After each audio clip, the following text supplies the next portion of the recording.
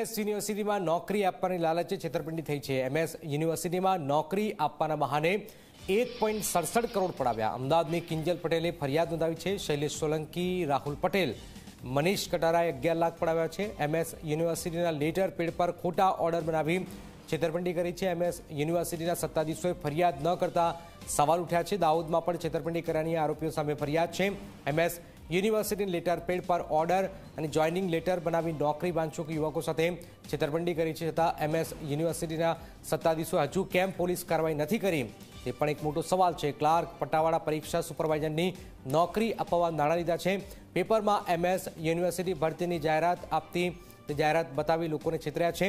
મોટું રેકેટ આરોપીઓએ હાથ ધર્યું છે. હાલમાં પંદર ભોગ બનનાર મળ્યા છે, જો કે ભોગ બનનારનો આંકડો હજુ પણ વધી શકે છે.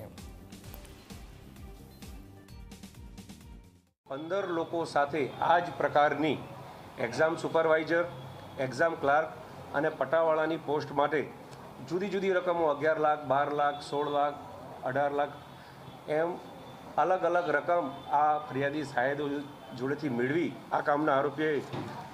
જે પંદર સાહેદો અમારી સમક્ષ આવેલા છે, એમની પાસેથી એક કરોડ સડસઠ લાખ પચાસ હજાર જે તેની માતબાર રકમ સામાવાળાએ ફરિયાદી સાહેદી પાસેથી મેળવેલી છે. ગાંધીનગરના બે છે, અમદાવાદના છ છે, મહેસાણાના પાંચ છે, મહીસાગરના એક છે અને વલસાડના એક છે. એમ કરીને કુલ પંદર જણા છે. હજુ પ્રાથમિક અરજીની તપાસ છે અને પ્રાથમિક તપાસમાં જેટલા પણ આરોપીઓ સંડોવાયેલા છે, એની સામે અમે ગુનો નોંધેલો છે. આગળ જેમ તપાસ થશે, એમાં જે પણ આરોપીઓ સંડોવાયેલા હશે, એની ધરપકડ.